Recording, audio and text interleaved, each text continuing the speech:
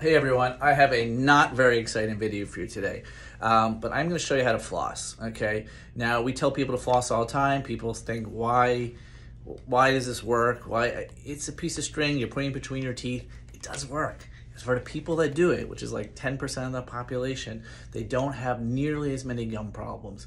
Some people get away with not flossing when they're younger. I often will see a lot of people in their early 20s who don't floss, and then they get a lot of cavities in their early 20s with the lifestyle changes, moving out of your parents' house, drinking alcohol, coffee, energy drinks, and not flossing. And then around age 30 on average, now these are averages, if you're younger than that, you could be, I have teenagers with gum problems. I have some people with good genetics, they might get to 40 without flossing, without having gum problems.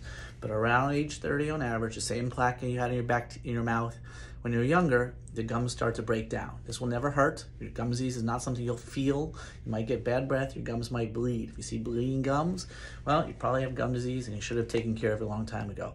Now, I'm making this video because in the past, we tell people to floss.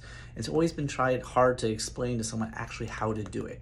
Now, the, where to go with the teeth, like if I show you in your mouth like our hygienist does, uh, is good. It shows you how you have to get up into the gum, how we're not going to saw back and forth, but we're going to make a C shape around teeth. And there, I noticed there are several videos on YouTube showing it on a model.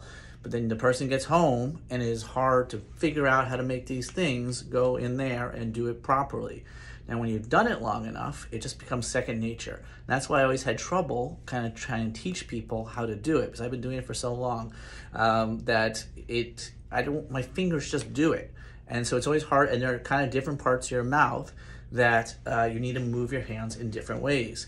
So I kind of thought about it and watched what I did because I didn't know. My hands just did it. So I went and looked, and now I'm going to show you in my mouth. So we're going to get close and get close and personal here.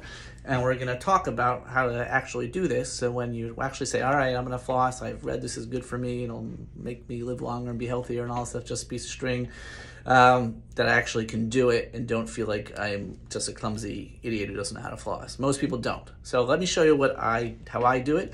Now there are you know textbook ways, whatnot. I don't know. Okay, this is what I do, and it's how what I teach now since now I'm teaching it. But anyway, also while we're at it, this is the floss I like. This Reach dental tape.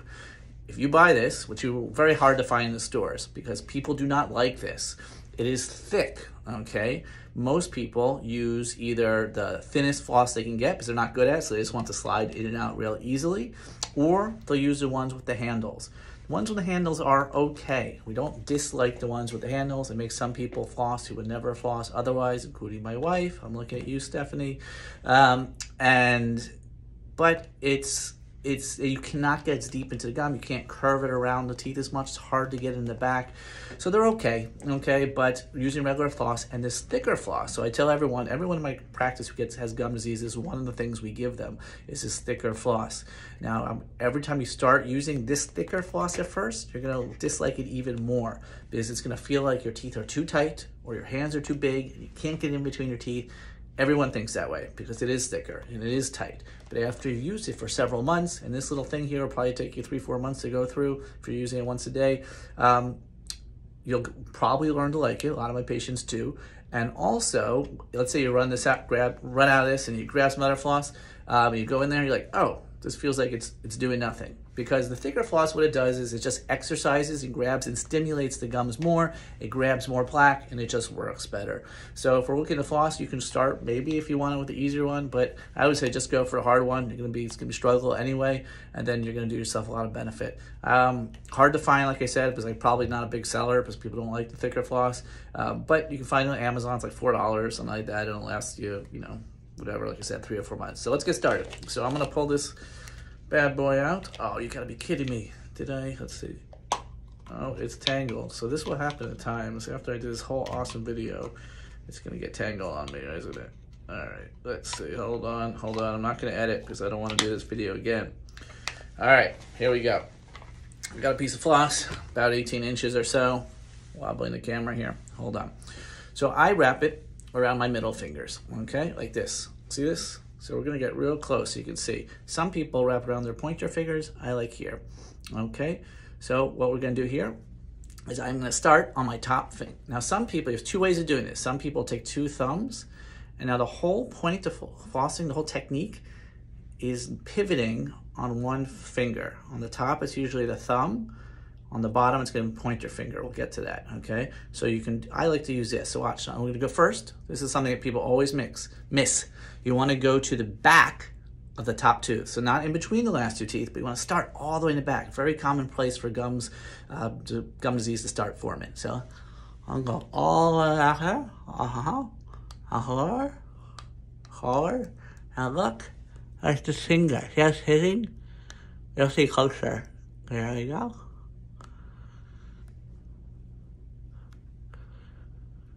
So let's stop for a second. See what I'm doing? This thumb is not moving. I'm using it as a pivot point to move it around with one of these two fingers. Now I'm going to, okay?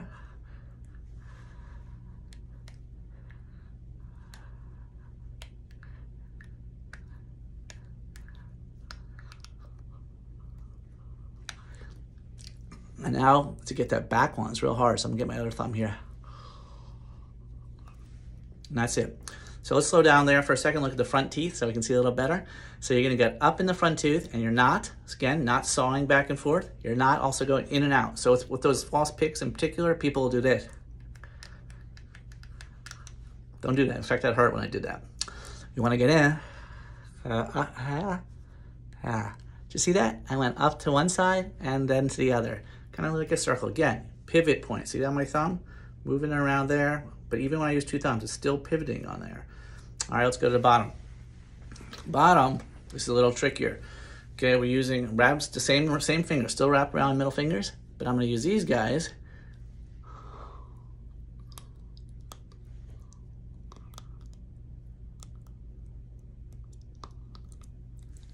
See that? So let's there. So again, using a pivot point on these two fingers to move in between. And now you get here, I can't move my hand there. So I do. I switch to the thumb. I wrap. So yeah, let's try that again. See here? And I take it out and I switch to the thumb. Again, see that? Pivot point. Now, some people ask, do I have to uh, use a different part of the string for each part of tooth? No. I mean, yes, technically, you know, if I see a big chunk of food or plaque on there, I will not use that part and I'll wipe it clean, put it under water, switch more calm, just move it a little hair over. Um, so you can, it's not a bad idea, but it's not something I think about every spot and use a different place on the floss. Uh-huh.